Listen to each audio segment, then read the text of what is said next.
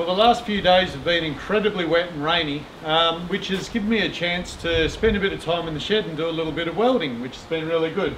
So I've made this uh, carryall to make the tractor a little bit more versatile. It's just basically a platform that can raise and lower, um, and as the name might, you know, the carryall, as, that might suggest, it's just for carrying stuff around the farm. So now at the front I've got a front end loader, um, forks that can move pallets around, and of course a shovel for soil. Um, but I didn't have anything on the back to take advantage of the three-point linkages, so I made this up.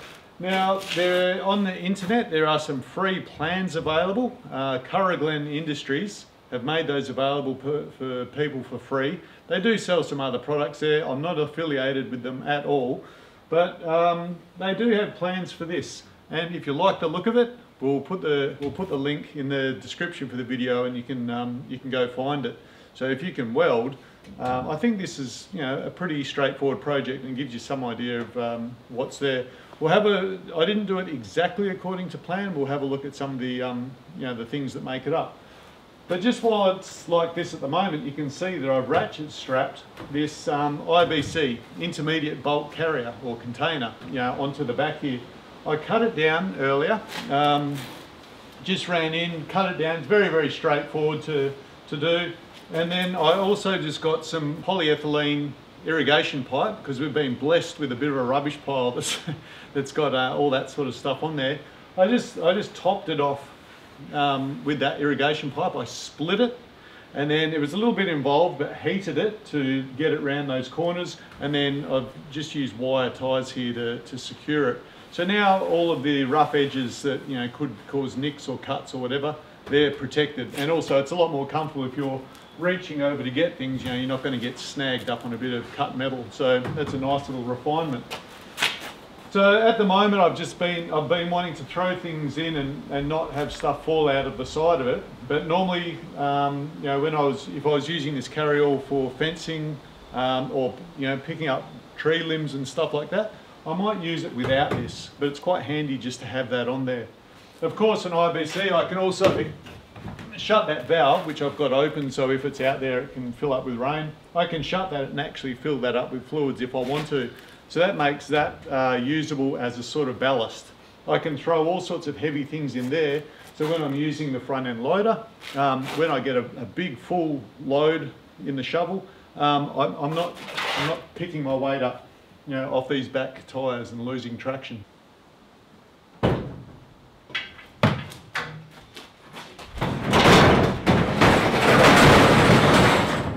All of this stuff was in the cut list okay? I did that according to the plans um, that are free online and in the description to the video.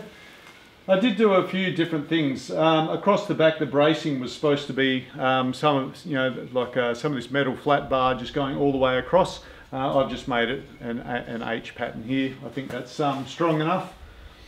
Um, I used 50, me 50 millimeter you know two inch square um, mesh wire mesh here that just helps, you know, like gives me something to tie on, make sure things don't fall through. Um, it's plenty strong. On these, I've only welded it every, um, you know, every second mesh along here. But of course, on the bottom one, I've welded it every single one and down through the middle in the bracing here as well. And that's just so if I pop some, you know, it still maintains that strength. So this mesh is quite strong because it's, it's, it's pulling back this way.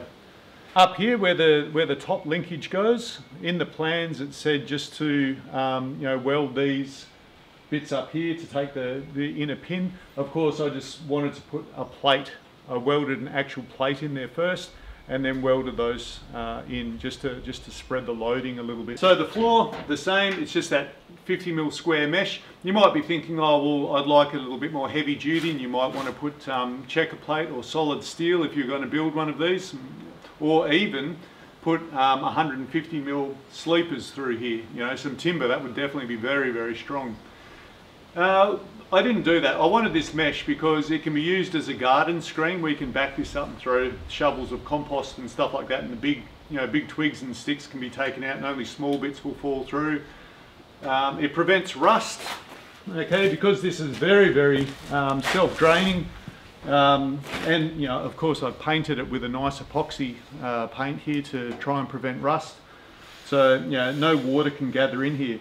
My class one linkage on the back of this um, 31 horsepower tractor, it can lift uh, almost a ton at the pins. Out here, you know, leverage, not quite so much. So that's another thing. These, this mesh, it's not going to have to take massive, massive weight, but you know, it can, it can take a, well, what am I? I'm about 86 kilos, so it can definitely take that, you know, point loaded on there. A little bit of bending, but you know, no big deal. So a couple of drums or a fence spinner, um, whatever you want, carted around in here, no worries at all. Around the edges here, again with that polyethylene um, irrigation pipe that we've been blessed with in our rubbish pile, 13 mil, half inch stuff.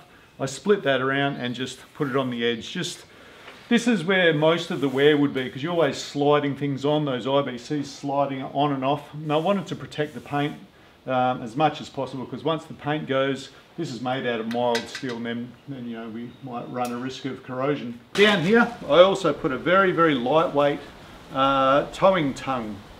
Alright, so I can just stick a just a standard towing ball that normally goes on my drawbar there. So if I want to leave the carryall here and also tow something fairly lightweight, I can use that.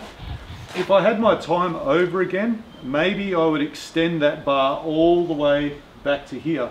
But in reality, this is quite resistant to being deformed because you've got a, a bit of um, quite sturdy angle iron here and then you've got these welded supports going back. So really you have to bend you know, this amount of steel. Maybe it'll happen, but yeah, it's a it's a bit of working kit. So that was just a, a tongue of steel, and I just popped an old shackle that I'd lost the pin. I welded that in there so I got somewhere the chain to go on. That wasn't in the plans. This bit here wasn't in the plans. And also in the plans, they leave it entirely up to you what, whether you fill this in and what you're going to make the floor out of. And of course, none of this, um, they weren't suggesting that you use any scrap irrigation tube to, to make a little rubbing plate there. The strength of this thing comes from the, the H construction. Uh, this stuff, this 50 by 75 box um, rectangular section, that's pretty strong.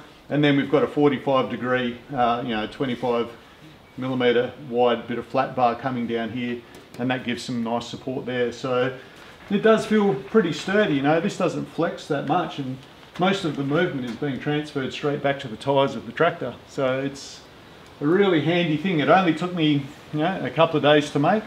It cost a couple of hundred dollars worth of steel. Everything's getting a bit more expensive nowadays. You're not going to save that much money now. Um, it, it's hard to get this sort of stuff at the moment. It's hard to get a lot of things at the moment. So what I got out of making this myself is time on a welder. So it built up my skills again. Um, obviously I've, I've welded in the past, but it's been a long time. You know, I've been just mucking around on a yacht. So it was good to do a little bit of steel fabrication. So what I got for my money was a, a build up of skills again, satisfaction of making something that's good and strong. The other reason why a lot of these carryalls and things made out of steel are very affordable at the moment is a lot of them are made offshore, you know, in places like China and stuff like that, where the, the labour is very, very cheap. I want to support the idea of doing stuff for myself rather than you know, outsourcing to the lowest uh, lowest bidder. So yes, I know that there's people out there that are saying, well, you know, it, it's only you know five six hundred dollars to buy a carryall, and why don't you just you know like factor in your time and just go and buy one? I'm much happier having made one.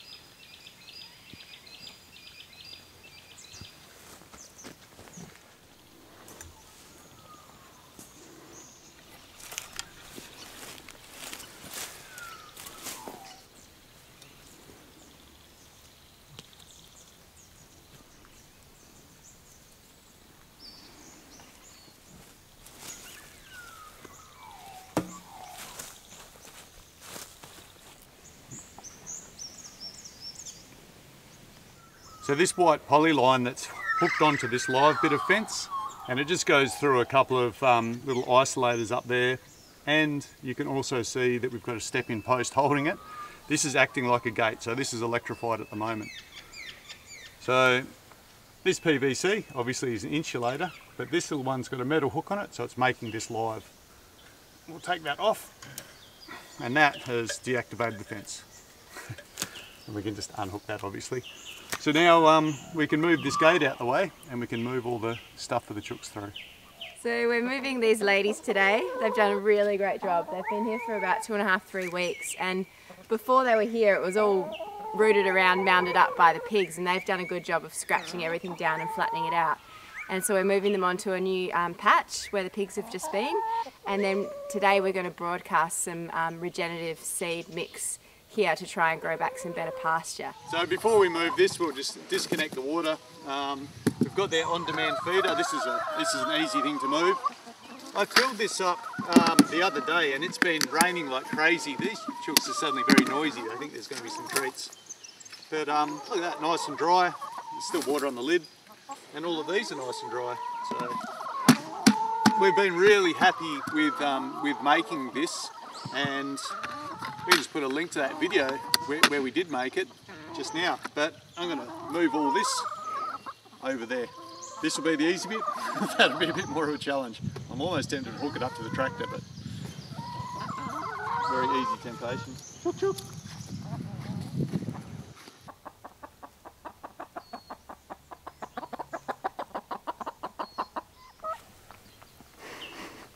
Maybe it's food.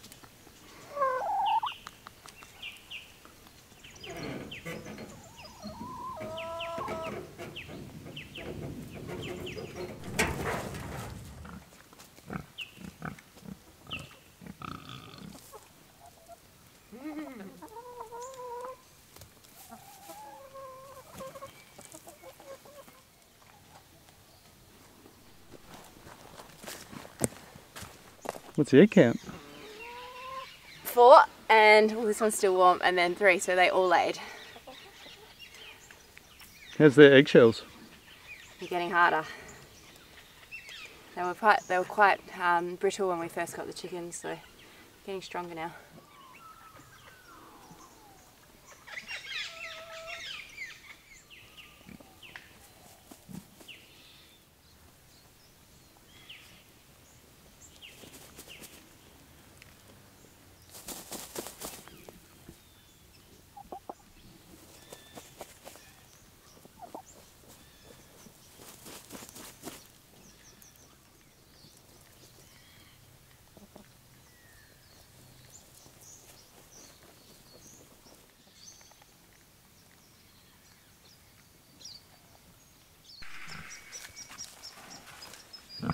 We've had some really wet and some really frosty um, nights and mornings and this is why the pigs don't mind it. They've, they've come in here and they've made this beautiful nest and it's lovely dry soil here.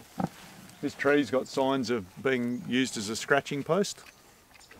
So this might not be too great for us, but um, from a pig's point of view, it's fantastic. So this has been good.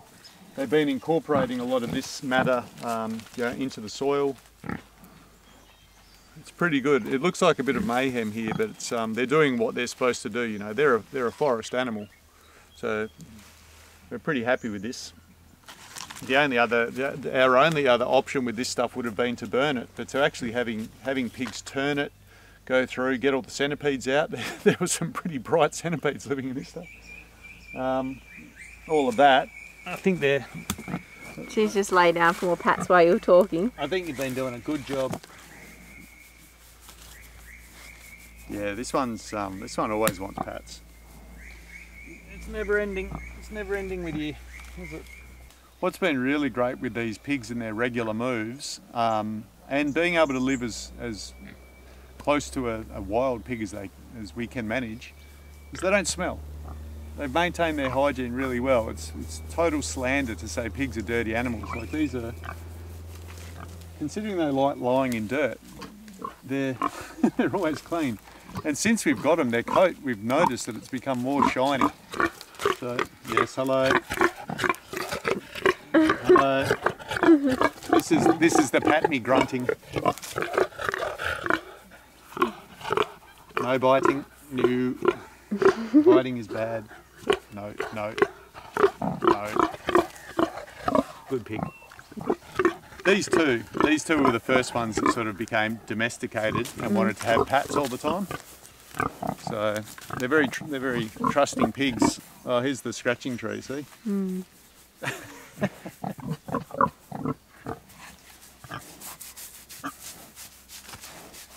There we go. Just going for a scratch. Oh. And a scratch. This is the wrong end of a pig to be at. Oh, How's the tree? Nothing to scratch there. Hmm. There we go. The scratching tree. Ooh. Oh yeah.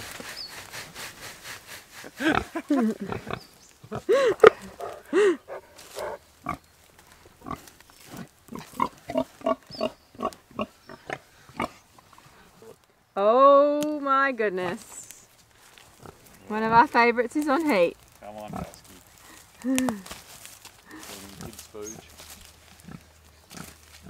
We need to find them a boar.